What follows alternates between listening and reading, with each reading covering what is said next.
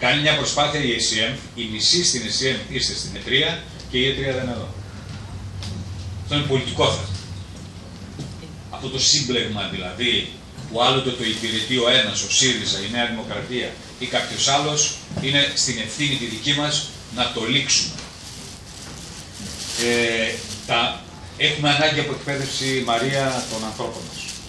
Έχουμε νέα παιδιά στη δουλειά, όσοι μένουν σκάβουν πολύ, εργάζονται σκληρά, είναι multimedia personas και δεν είναι ένα γραφτού λόγου πια, έχει τελειώσει το θέμα και έχουμε ανάγκη από ανθρώπους οι οποίοι ίσως στα προγράμματα αυτά η ΕΣΥΕΜ πρέπει να το βοηθήσει προς αυτήν την κατεύθυνση και μπορεί πέρα από τη φτώχεια μας, δηλαδή η κατάργηση του αγγελιοσύμου και τα προβλήματα που προκύπτουν από αυτό και από την κατάρρευση των μέσων είναι τεράστιο θέμα. Αλλά όσοι είμαστε, όσοι μείνουμε με ένα κομμάτι ψωμί, θα πρέπει να υποστηρίξουμε τη δημοκρατία, γιατί είναι η λειτουργία της δημοκρατίας.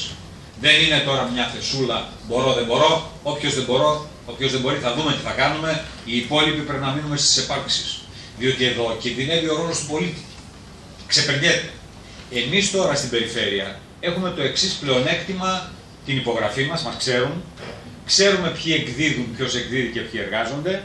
Στη Μακεδονία δεν ξέρουμε ποιοι είναι. Αυτό είναι το μεγάλο πρόβλημα της Μακεδονίας. Χαμένο μέσα στο διάστημα κάπου ένας επιχειρηματίας. Ναι, εντάξει. Τώρα βλέπω λειτουργεί το γραφείο του έθνους να δούμε πώς θα προχωρήσει και αυτή η ιστορία. Είναι πολύ ενδιαφέρουσα, μακάρι με το καλό.